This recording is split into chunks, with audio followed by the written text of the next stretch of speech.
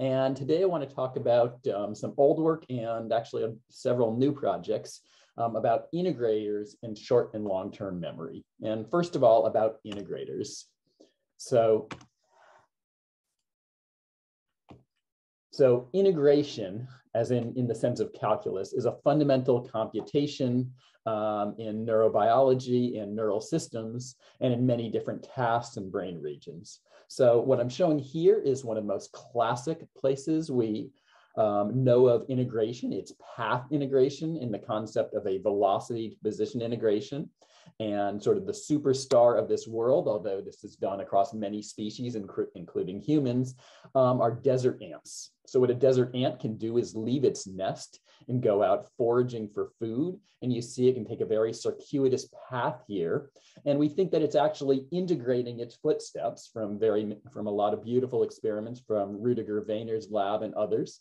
Because when it gets to the food, it can come and it can take a beeline or an ant line straight back to its nest as if it knows you know the distance it's traveled and the direction in both the x and y directions so then that integration is again is velocity to position and it's one i'll talk about today in a different in a different setting another classic one that many of you i'm sure know about in the computational neuroscience community is decision making and the accumulation of evidence in particular for decision making and the classic task done by, you know, people like, uh, you know, Newsome and Shadlen and others is a two alternative decision. And the question would be here, is the average motion up or down of the dots? And here I'm just highlighting that the coherence overall is determined by a certain number that are directed in the in the preferred direction they're highlighted in white and the other ones are moving in a random direction and the reason there needs to be an integration here is because because there's a random component of the motion which must be averaged over so that the systematic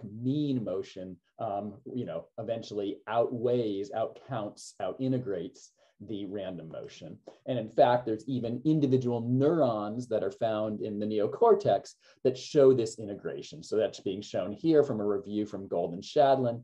Uh, this is integrated evidence for up or down. This was an up trial. And you can see the mean um, drift rate. Um, it could be of the evidence here, but it actually is even seen in single neurons. This is just showing for the evidence goes up until some bound is reached, at which point the animal says, I have sufficient uh, you know, confidence to answer that I think the motion is upwards. So I'm going to talk about a different task where uh, we really think we're starting to get an understanding of the circuitry.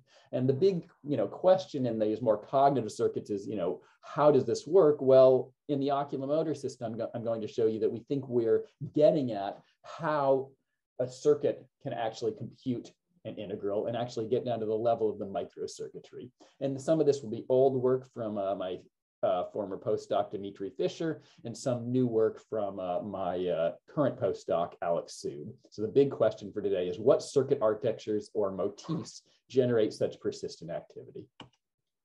So first I want to start you with the standard model of um, of how integrator and integrators are formed and how persistent activity is maintained. In particular, I'm going to be talking about analog persistent activity here. And you know, you can look up papers from myself and others on the less standard ways, but today I'm going to stick with the standard traditional model. So the main story is that uh, you know, most neurons in isolation are leaky. They do not integrate inputs. If a brief temper, you know, temporally precise command comes into this neuron, its firing rate will come up and come down with some biophysical um, time scale. But we know neurons aren't in isolation. They're connected to other neurons, both through, and they have both mutual excitatory paths. So this is representing really a neural population or mutual inhibition between competing populations. And with that, the story is that the, this population can be excited. And then after the offset of the command input, the population can continue to maintain its activity through its own self-excitation or through inhibiting those neurons that were inhibiting it. And with this, it, if everything is tuned correctly, and I'm not going to talk so much about that today, but you can ask me in the question and answer period, a neuron can maintain persistent activity and even maintain persistent activity at multiple levels. And notice this is an integral, it's an integral of a pulse to a step.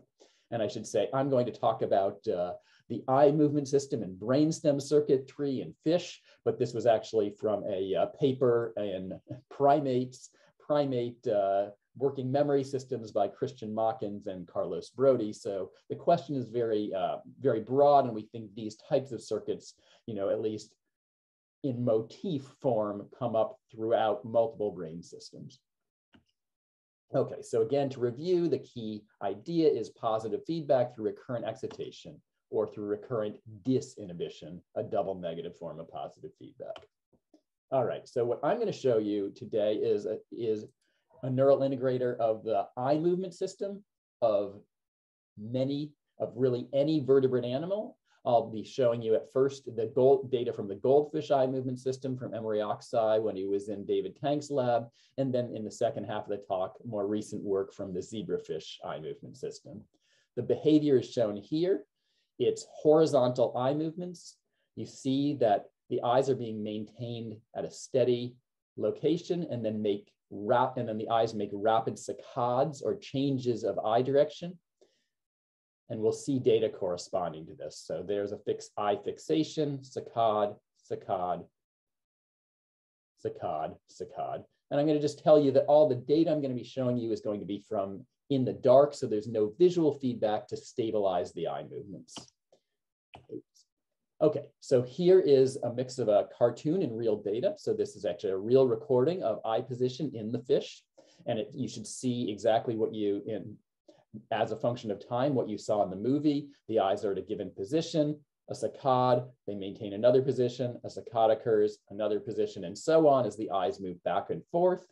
Um, I'm not showing you, and it's just a cartoon, that there are eye velocity coding command neurons that are either excitatory or inhibitory and move the eyes one way or the other. But notice they are transient. They move the eyes temporarily by providing a command, but then the command is off and the eye position is maintained.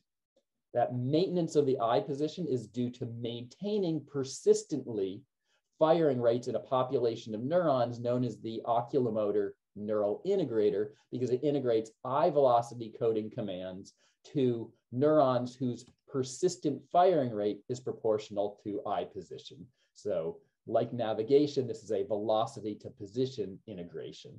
And the persistent activity here is storing the running total of the input commands. That is the mathematical integral. Again, a brief, this is just a pulse to step integration repeated.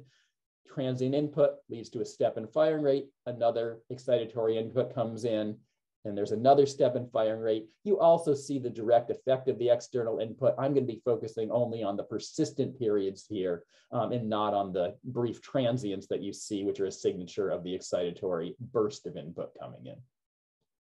Okay, so the question is what circuitry controls this integration in this well-defined system where there's actually a devoted nucleus computing this integral.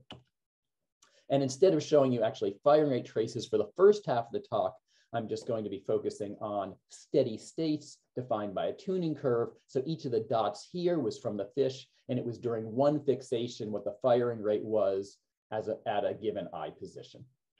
And this is showing one neuron, but really the system has, in this case, of order 100 neurons. What I was showing you was a neuron on the right side of the brain, whereas the eyes move to different fixations from left to right. The firing rates increase monotonically and quite linearly after, after a threshold. There's also neurons on the left side which decrease their firing rates uh, approximately threshold linearly as the eyes move from left to right. Here I have literally just done a mirror image of, of a combined set of neurons. So really some of these neurons were right side and some are flipped, inver, uh, mirror flipped left side neurons. What I wanted to focus on here is that there are four populations, we believe, from anatomy and physiology in this circuit, uh, divided on either side of the midline of the brain. Uh, in blue are the inhibitory populations, and those project across the midline. In red are excitatory populations, those project within the same side of the brain. And this has the core architecture that I showed for you in the Machens and Brody uh, science paper. We see that there is recurrent excitation which could maintain um, persistent activity and do the integration. And there's recurrent disinhibition between the two sides. So any, any loop around the circuit from a cell to itself either goes through excitatory connections or through two inhibitory connections. So it's a positive feedback motif. And I'm not going to get into it today, but we believe that actually the inhibition is for coordinating the circuit and actually uh, each half of this integrator can actually do the, do the integral itself just with recurrent excitation. Um, so the second half of the talk, I'll only focus on data from one side of the integrator, which we believe maintains integration on its own from, from experiments and theory analysis, not today. Okay, so what I wanted to step back to uh, more theoretically is the picture of this in terms of dynamical systems, and it's a line attractor picture. So if we plot neurons firing rates, here's the firing rates of two neurons, F1 and F2 is a function of eye position. They're both linear in eye position. So if we plot them against each other, firing rate of neuron 2 versus firing rate of neuron 1, we define a trajectory here, which you can think of as the um, fixed points of the system. And it's a line attractor because every point along this is a fixed point. And actually what I'm going to show you is actually a movie. Marvin the Martian is the goldfish's eyes and, and red is actually the state of the system. And you'll hear the crackling of the action potentials from uh, one of these cells as the eyes move back and forth. And you'll see really that this is an attractor, a line attractor, a continuous attractor.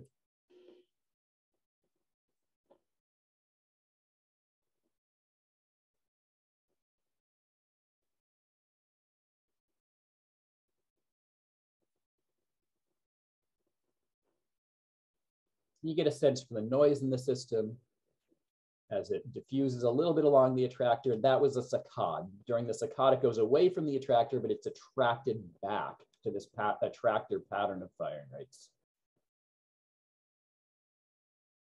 There's again a saccade as you see it leave the attractor and get attracted back.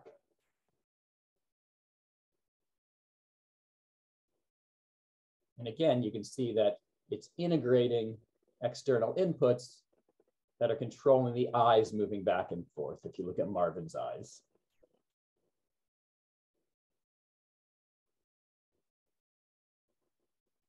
Okay, so the picture here geometrically is that this system creates a line attractor in the space of firing rates.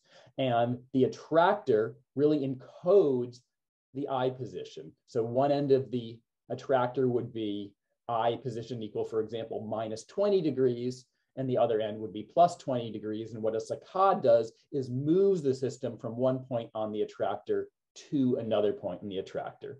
So in the punchline here is that eye position is represented by location along a low dimensional manifold. And that low dimensional manifold is a line attractor or a line of fixed points. Okay, so the question for the next portion of the talk is, can we build a model of this neural integrator and sort of a real biophysical model of a genuine integrator. And that's what we did. We set out, we built, there's a, about 150 neurons per side, we think. We are not positive, but we assume they're about equally distributed between excitatory in red and inhibitory in blue populations. So we made four populations of 25 neurons. And we built a, uh, you know, a simple, a simple model um, I'm going to show you the rate version of it. We actually built a full um, Hodgkin-Huxley conductance-based model, but the principles are clearer with the firing rate model, and we built both. So the key thing is we're, of course, like any, like, like, all, like all of us, we're building a model of firing rate changes. There's intrinsic uh, decay in these neurons that needs to be offset to, by by synaptic inputs to maintain firing. There's same side excitation, Wij is the weight matrix, excitation is ipsilateral, same side. There's also inhibition. Uh, we assume that's a weighted sum of inhibitory inputs. We put a nonlinearity on the form of the synaptic inputs. There's also a constant ton tonic background in this system which actually comes from vestibular inputs that I'll talk about a little bit in the second half of the talk. And then those saccadic commands are B sub I, the burst commands. But we're going to focus here on the persistent activity in the absence of the burst command. And for persistent activity, holding on to a running total of the input commands, these terms must all sum to zero. If these all sum to zero though, the derivative of the firing rate is proportional to the burst command, and therefore the rate is proportional to the integral of the burst command. And that's where we think an integrator comes from, fundamentally from the synaptic inputs, exa exactly, and there's questions of how exact, but at least approximately and quite tightly canceling the intrinsic leak in these neurons. And when that occurs, one gets an integrator. So this immediately says that how we can fit a network to integrate, because we have this condition that the sum of these terms must equal zero. So that's exactly what we did. This is the fitting condition for each neuron I. It's a self-consistent condition. So on the left is the current needed to maintain the firing rate R. And what we're saying is that that current needed to maintain a given firing rate R sub I must equal the total excitatory current received plus the, or minus the total inhibitory current received plus the background input. And this defines, you know, a fitting equation, a really a current-based decomposition on how we fit the network. So the knowns in this, because we have we have samples in the of recordings of firing rates throughout the circuit, and we actually, in this case, just put together individual neurons recorded on different trials and compiled from different animals. Um, we have knowledge from intracellular current experiments of what the intrinsic response F of R is in response to current injection. So we have an idea of how much current is needed to produce a given rate. But what we don't know, like in most systems, is what the synaptic weights, Wij, are, the external weights, Ti, or what the nonlinearities are. And we and what we did is we're going to just assume different forms of the nonlinearity. So we're going to pretend those S's are fixed. And if those S's are fixed, then we have, and we just combine these two excitatory inhibitory Wijs into a single overall, could be positive or negative Wij, then we get an equation of this form. And you should recognize immediately that if we know the rates and we know S, we, or we assume S the nonlinearity, then one gets just a simple regression equation. Yi equals sum of Wij xj, where this xj is the S of R's, plus Ti. And it's and that immediately says that we can very simply fit these. We aren't using recurrent backprop. We aren't using forced learning. Just it's a very simple, it's still doing the same thing in terms of the, we're really using a cost function and we added, and we can add regularizations to it. We can actually add perturbation experiments where the rates come during a perturbate, following a perturbation, but it's really a least squares problem on yi minus the sum wij xj plus ti. And the methods are in this paper by Dimitri Fisher from 2013. And furthermore, you can extend it, and it's in the supplement of the Fisher paper, to general time varying problems, not just persistent activity, where we add tau drdt. If we assume tau, then drdt is just a fixed known number. Okay, so that's the methods, and I just want to show you that it, that it actually works, and we actually could extend it to uh, actually doing this in voltage and actually produce a spiking model, and that's shown at the top here. So here you see a, the saccadic inputs coming in in black in the model. And here's the voltage, and you can see there's a brief, uh, you know, burst uh, in the voltage of an integrator neuron at the time it receives the saccadic input. But what I want you to focus on is during the fixations. So initially this neuron was silent, it received a burst input, it starts firing at a tonic rate. Um, it receives another burst input and it starts firing at a higher tonic rate. It's mathematically integrating. So what I'm showing you here is another neuron. It doesn't have the overshoots uh, in firing rate, but it's another neuron in the network that didn't directly receive the saccadic input. And what's shown here is its firing rate as a function of time. The green trace is a perfect integral just to guide your eye. Um, the gray is the raw firing rate, and the black is a slightly smooth firing rate like you'd see in an experimental paper. And you can see it's really forming a perfect integral. So that's for one neuron. And if we look at all neurons, we actually just took neurons from, again, an experimental database. The lines are the tuning curves I showed you earlier from the experimental database. And the boxes are actually in the model what the firing rates were. And we also tried to match some noise statistics. So that's what the box, what the boxes are showing is just the, the noise. And these are quite regular firing neurons, uh, unlike the more Poisson-like, uh, you know, neocortical ones. So again, you know, this I think was sort of a landmark of really building a recurrent circuit that could fit you know, every neuron from a compiled database representing this circuit. And we could really say, you know, this neuron with this threshold course in the model corresponds to that neuron, you know, with that threshold in the real animal. Um, but, and there were many conclusions we could draw about how the circuit is organized.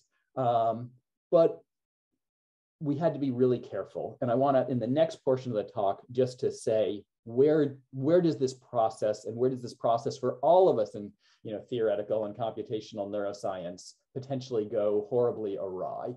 And where it goes horribly awry is we're fitting a network which has of order n squared potential weights. And even if it's sparse, it's still a huge number of weights for any reasonable sized network.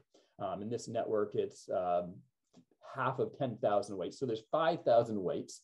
And that means when we have a model cost function surface, like we're minimizing, there's going to be certain combinations of weights that we can change and the fit's not going to change.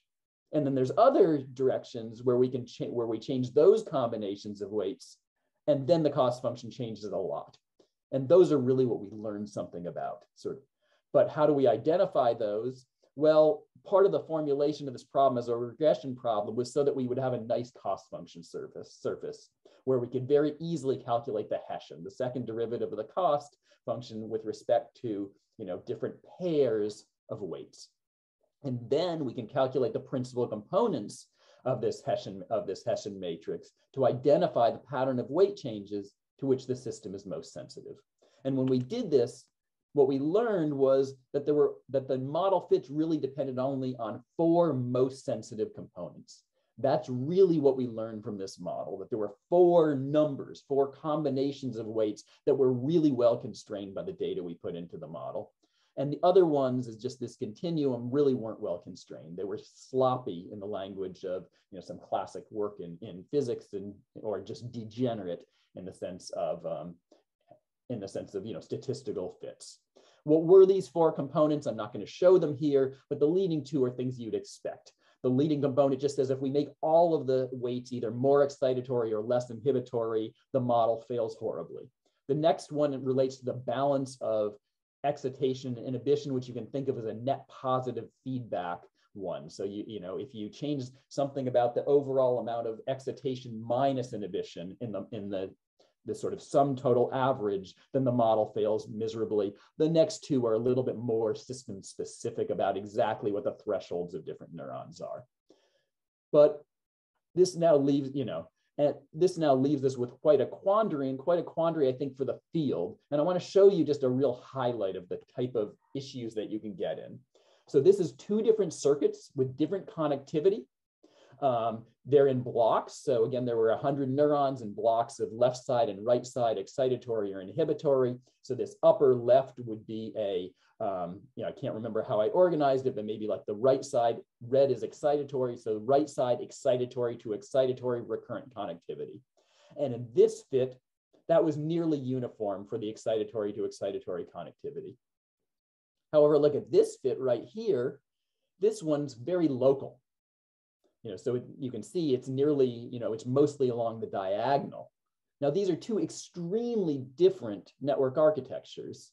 But if you actually look at the firing rate versus time, this is showing the average, but you can actually even look neuron by neuron. You know, I, I dare you in a psychophysics uh, experiment to tell me the difference between these two left and right, you know, these two left and right plots. And, and again, the, the fluorescent colors are just to guide to sort of guide your eye of perfect integrals and then the, uh, the black and gray traces are the actual firing rates, but you can see every nook and cranny are the same. So how do we think about this? Well, the way we think about this is what if we take a, the difference between these two matrices, literally subtract it and calculate the difference, and then project that difference along the principal components of the Hessian, along the sensitive and insensitive eigenvectors. Well, we did that. And what you find is that remember there were only four well-defined, you know, non-sloppy eigenvectors here. And these four and the difference between these two networks when projected along the different eigenvectors is x, this is, I should say this is in log units, are exponentially small differences between them. So effectively, these two networks, even though they look extremely different in terms of just the raw entries of the weight matrix are effectively identical in terms of those four leading components that needed to be fit to fit the data. And all the differences you're seeing are from sloppy components that don't change the overall firing rate output. And I think this is a real lesson of saying, what do we learn? Well, what we learned is about these four leading components. And what we didn't learn is about all the other components.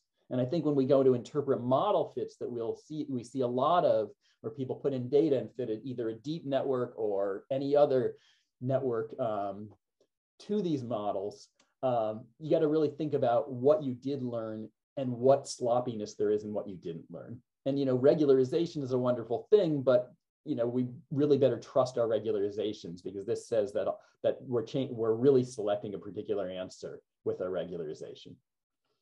Okay, so I'm just going to now talk about a, you know, some more recent work unpublished on a perturbation strategy for breaking these degeneracies.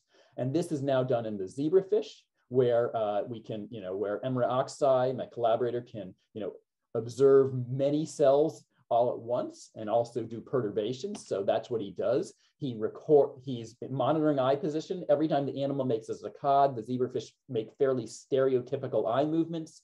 So I'm only going to show you averages across eye movements, but animal makes a saccade, and this is the recording starting one second after the saccade of a whole population of simultaneously recorded neurons. Um, you can see there's some that are more persistent, some that decay a little bit faster. And then he's also going to apply perturbations and look at the firing rates after perturbations. And the idea here is if we're going to try to break degeneracies, we can place the system in different, basically place the state of the system at different initial conditions within the dynamical landscape and maybe sort of map out the attractor surface, not just at the fixed points, but throughout. So that's what he does. From these, from these fits, we're going to try to infer the weight matrix as best we can and hopefully at least reduce degeneracies. And then once we have this weight matrix to test how well things work, we're going to try to predict novel perturbations that were held out. So what we did is we, we did this in simulated data. And if you make a perfect network with no noise and perfect measurements, you can see here, this is a covariance of the fit matrix and the true matrix, and it's basically perfect. It's actually 98. It's not quite perfect. With 10 perturbations, you get 90% overlap. So here was the true weight matrix. Here's the fit with 10 perturbations, and they're almost identical. And I'm just going to also show you, this is going to be a mystery here. Now look at this fit with one perturbation. It does not do very well at getting the true underlying weight matrix. So that's with one, but I now want you to keep your eye on this n equals one perturbation as I add a new plot and say, okay, this is not of the right weight matrix, but now I'm gonna plot not how well it fit the weight matrix, but how well it fit the neural data. So now this red line is how well it predicted a novel perturbation, not data that it was fit to, not training data, but a novel test data. And even with one perturbation, the network can actually predict novel perturbations. And this is averaged over many trials. This is an example, the observed firing rate following a novel perturbation and the prediction from this fit that only had one perturbation that didn't get the weight matrix right. And the question is what's going on here? And I now want to show you what we what is going on, what solve, where does this mystery come from? Because it's important for the rest of the story. So here's the true weight matrix that I showed you that it couldn't fit properly. But we can break that true weight matrix into two into components. We can look and we just in this case linearized and we can look and we get you can make a matrix, we can basically find the eigenvectors of the linearized system and calculate the true weight matrix using only the long time scale eigenmodes, and then the and then the true W from the short time scale eigenmode. So we're just breaking this weight matrix into its into its eigenmode components with the leading long time scale eigenmodes that correspond to the persistent activity in the short ones. And it turns out what that one perturbation network's doing is it's doing a great job. It's almost perfectly getting the W long, but it's failing to get W short.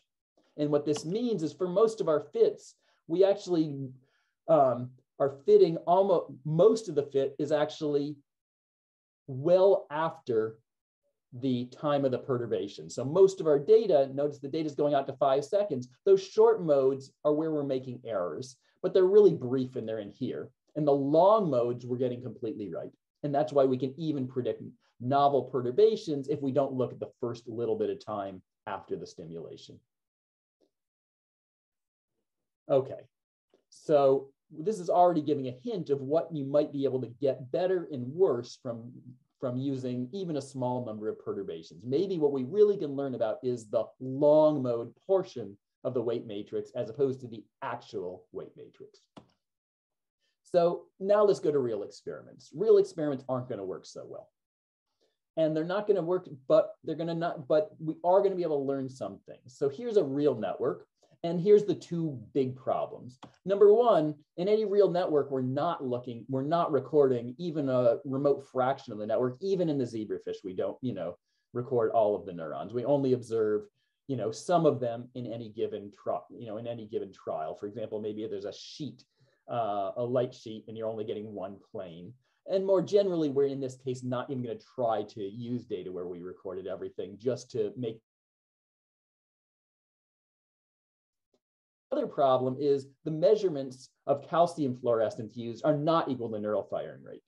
Um, calcium is a low pass filtered signal. Um, it's not just the indicator, it's just calcium itself is slow to respond. Um, there's measurement noise as well as intrinsic noise, and the sampling rates are quite low. So now we have imperfect assessment of neural firing rate. And when you combine those together, we didn't, we couldn't actually perfectly fit the network, but I want to show you what we could and couldn't fit. And we're first gonna look at simulations just to get intuitions. And we're gonna put these factors into the simulations. So this is actually showing that perturbations will reveal the long time scale eigenmodes. So dashed line is ground truth, the eigenvalues in the network. And even with 10 perturbations, we can actually do a good job of fitting the first almost 10 eigenvalues. If we don't use perturbations, we're only getting the first eigenvalue. We're just getting one mode. Um, for eigenvectors, I'll tell you it's more like the first four we can get. And again, what we did from the eigenvectors is we put together the effective weight matrix from the neurons that were observed and their components in the eigenvectors. And with 10 perturbations, we can do a very good job with a 73% uh, you know, um, correlation to the true matrix, whereas without perturbations, we do a horrible job of even getting this effective long time scale matrix. The second thing is prediction. Once we infer a matrix, can we predict novel perturbations? And the answer is quite well. So if we don't use perturbation data, if we do, if we just do recordings without perturbations, the dashed line here is a novel is the response to a novel perturbation.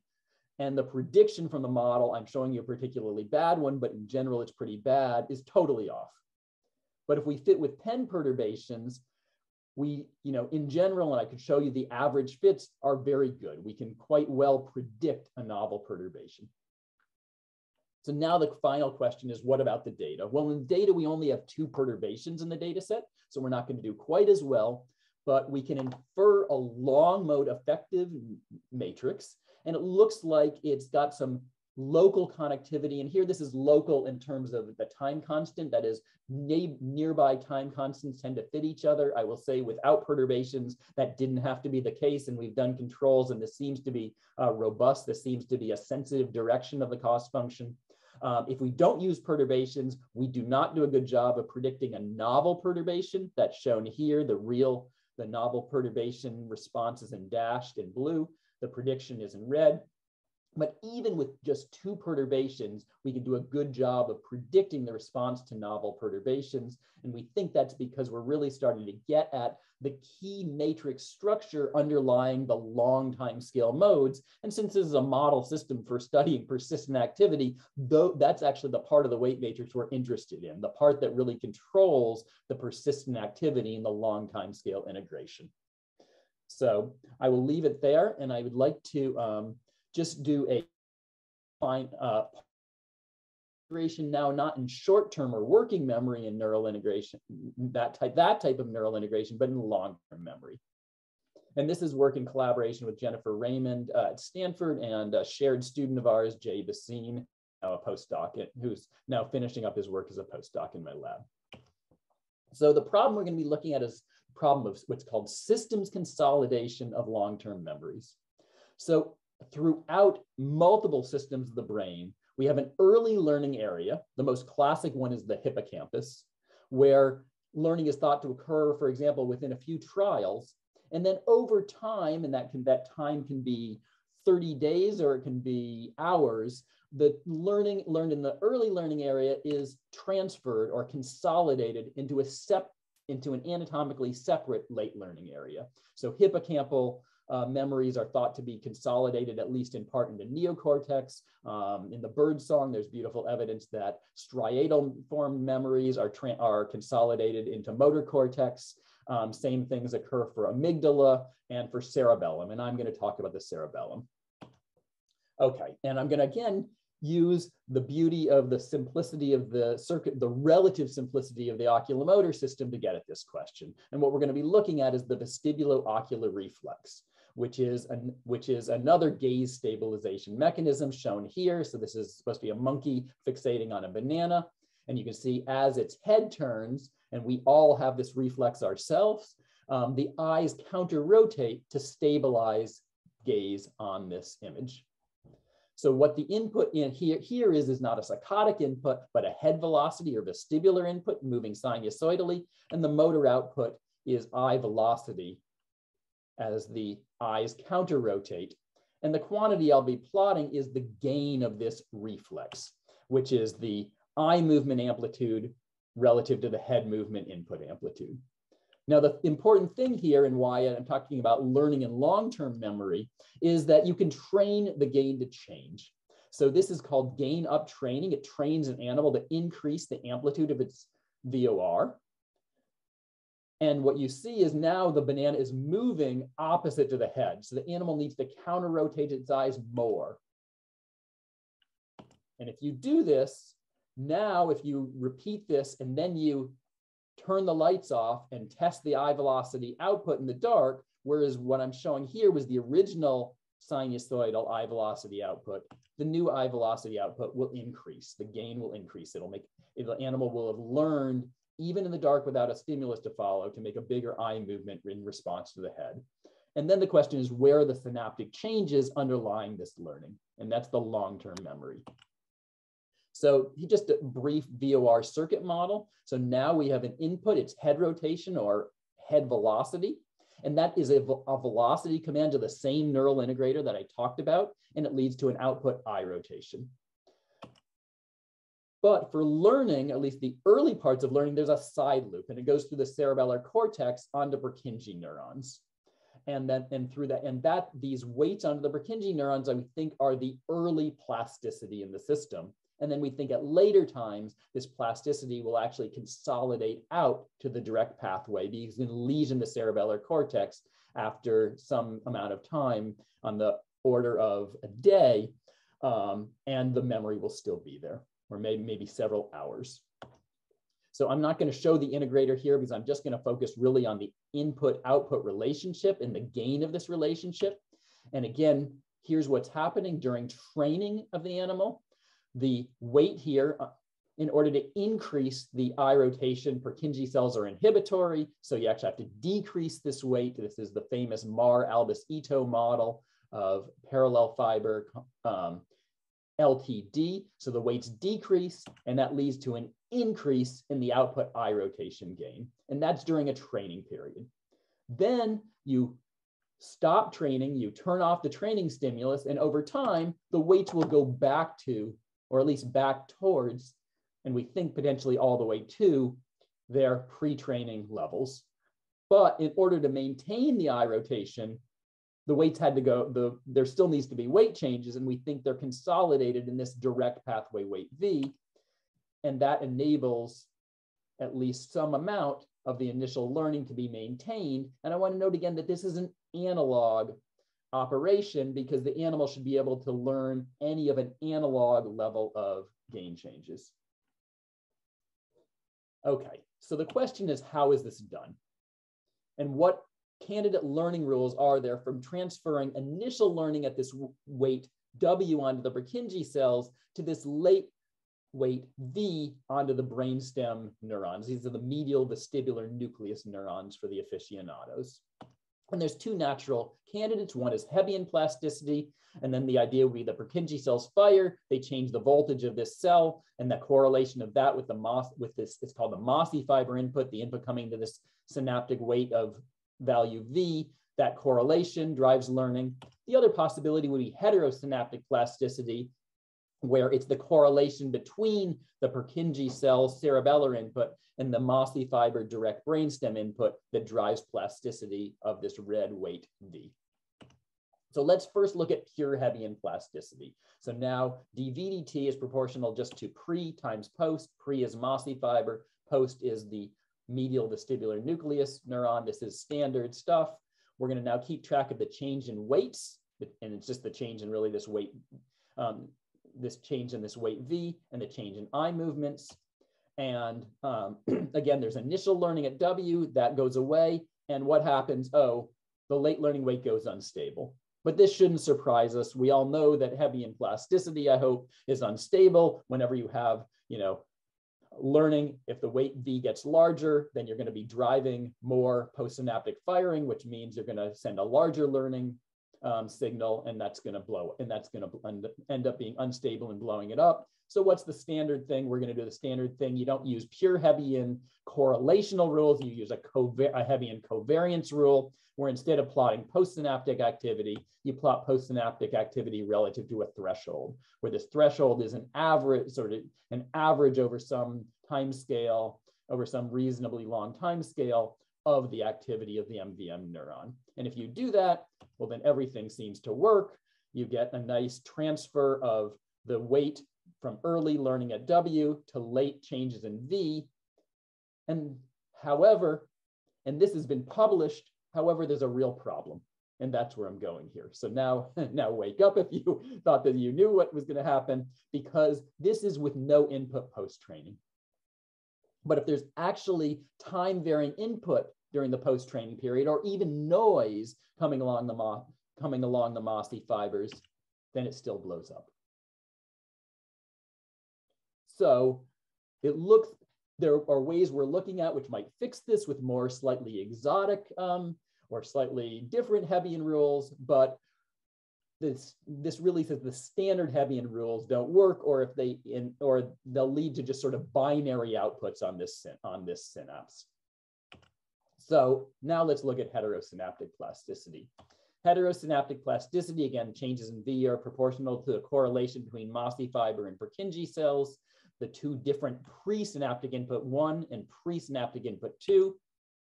We then do it, and we're gonna subtract off again a baseline of the Purkinje cells. There's an averaging, there's an averaging over time. And then we do the same thing. We look at the change in weights and the change in eye movements. And here again, with no input post-training, early learning occurs in the cerebellar cortical weight W. It transfers to the brainstem weight V, all looks good and all continues to be good, even if there's activity or noise post-training.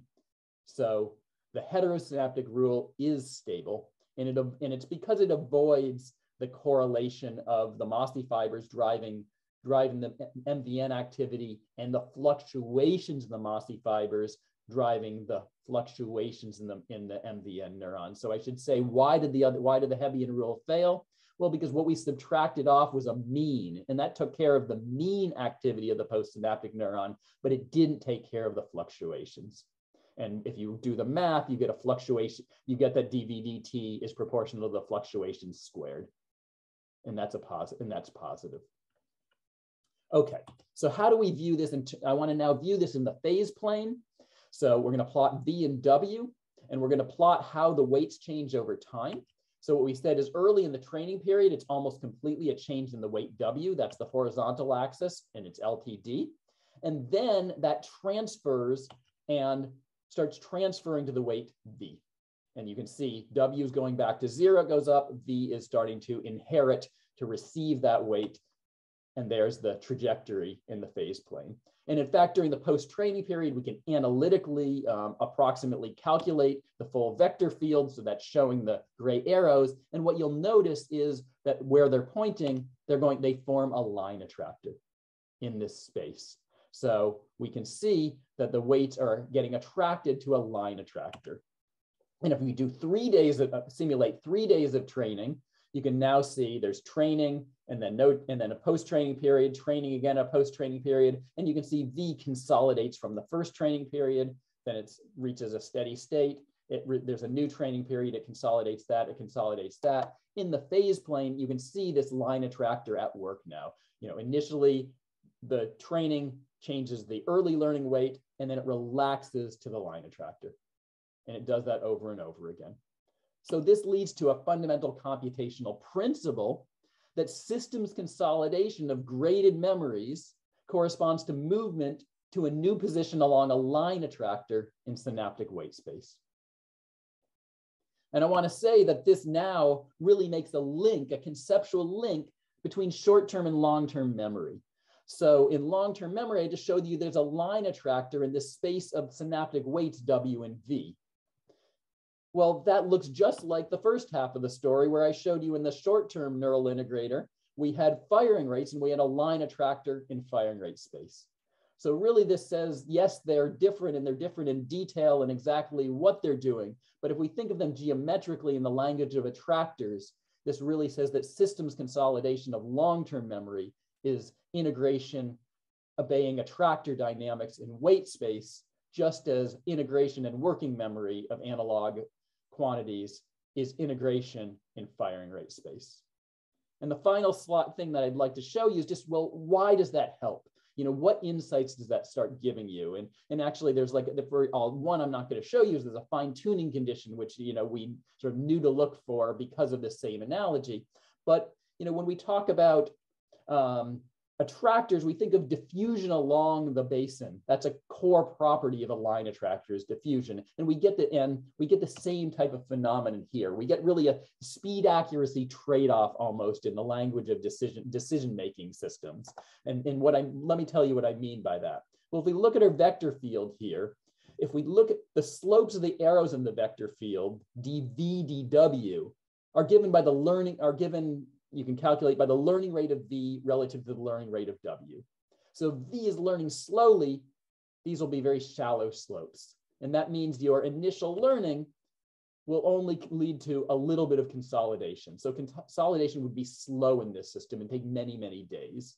On the other hand, if the learning rate of V is faster, you get more consolidation. Just one learning period, you almost consolidate completely what you learned. The dashed line would be as if you consolidated everything that was learned in the early period. So that says, you know, larger slopes, faster learning rate at V, more consolidation, more speed of consolidation. But there's a trade-off here. And the trade-off is suppose that there's, you know, there's naturally going to be lots of noise coming in and lots of sort of noisy learning events in the weight W. Just a sort of random coincidences of spontaneous activity along the, the pathways that lead to that learning. And that means you're going to get noise accumulation. So if you consolidate a lot, you're going to consolidate all of this noisy activity and you're going to get a lot a random walk, a diffusion of your downstream weight. But if you consolidate more slowly, you're going to have less noise accumulation. So here's the trade-off of a robustness to noise versus a speed of consolidation. So it's sort of a speed accuracy trade-off. And I'm going to leave it there and just summarize. So to summarize, we talked here about neural integrators, both in firing rates and in, and in synaptic weights. And neural integrators accumulate and store a running total of their inputs. In short-term memory, this was governed by integration along a line attractor in neural activity space. And I showed a perturbation-based strategy that reveals the effective weight matrix governing the slow time scale dynamics. In long-term memory, in particular systems consolidation, it was governed by integration along a line, a line attractor in synaptic weight space. And here I showed that heterosynaptic learning readily forms such attractors.